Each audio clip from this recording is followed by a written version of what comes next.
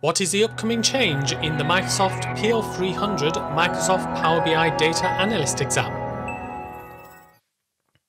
Hello. In the PL300 exam, you will be exhibiting your knowledge of being a Power BI data analyst with transforming the data, creating data models using DAX, visualizing the data, and sharing assets using the Power BI service. Now, the exams change from time to time, and the next change is on the 22nd of August. And if we have a look at the study guide, we can see all of the requirements for the PL 300 exam. And there is just one addition in this latest update, and that is share reports and visuals in PowerPoint. Now, you might think this is just exporting graphics from Power BI into PowerPoint, but there's actually a lot more than that. So first of all, we've got to log in to PowerPoint with a license which allows us to use Power BI Pro or Power BI in a premium capacity. So if you've got a different login, you need to log in to one of those licenses. You'll know if you have because in the insert of the latest PowerPoint menu, you will see Power BI. If you don't see this, then you're not logged in as the right person. So if I click on Power BI. This then inserts the object and it says, please add the URL from Power BI. So let's go to Power BI. And let's say we have got this report that we want to use in Power BI.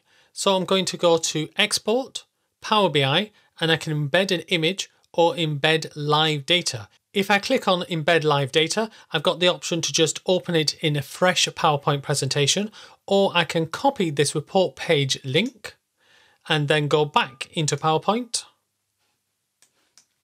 and then paste my link into there and click insert. Obviously, you'll need to have the appropriate viewing rights for this report. And there is my report. Now, if I want a visual as opposed to an entire report, I can also click on the dot dot dot next to the visual and go to share and either open in PowerPoint for a fresh presentation or link to this visual. And this allows me to click copy.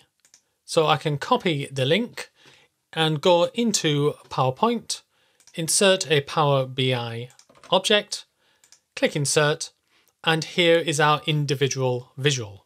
Now you might be thinking, okay, this looks good, but isn't this just a graphic? Well, no, this is the full report or visual that I've pasted.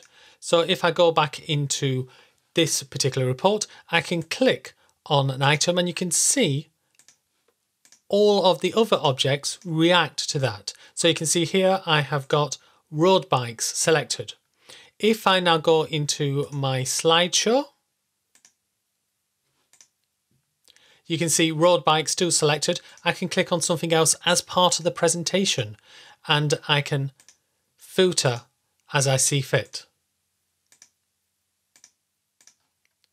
So if I select tires and tubes, you'll also see that there are various options for showing or hiding filter pane, getting the latest data and more. So let's go on to the next slide and finish. And if I go back, you can see that we've reset where we were. So I previously, as part of the presentation, said tire and tubes. It's now gone back to road bikes. So once you go through a slideshow, it undoes all of your customizations. Now we can also use these options here, including data insights, which allows us to get intelligent insights about this data and you can add them as static text to your slide. You can change the styling. You can clear the data and start again. And you can do other things, including deleting this visualization and showing it as a saved image. So then you can send your presentation to somebody who doesn't have a Power BI Pro or Premium license. And then later you can always reactivate the visualization link. So there are a lot more features and detail in this Power BI to PowerPoint link, but basically get the URL, multiple ways of getting the URL. You can share it, and here we've got PowerPoint. You can export it, or you can just use the URL at the top. And then you go into PowerPoint and you insert a new Power BI object and then paste your URL. So there's a lot more detail in this, and I go through this detail in my Power BI course. So if I go to my website, I do idodata.com, go to reporting software and PL300, you'll see that over 28 hours or so, I go through all of the requirements of the PL300 exam. The visualizations and analysis, get and transform data including the M language, refining the model, including DAX functions, and the Power BI service. And there are two videos on the Power BI to PowerPoint link that I've just shown you in this video. Well, I hope you've enjoyed this video. The next video that you can see is all about recreating the visualization pane in Power BI Desktop. So Microsoft took it away in April. How can you get it back? Have a look at the video and the end screen for details of how you can do this.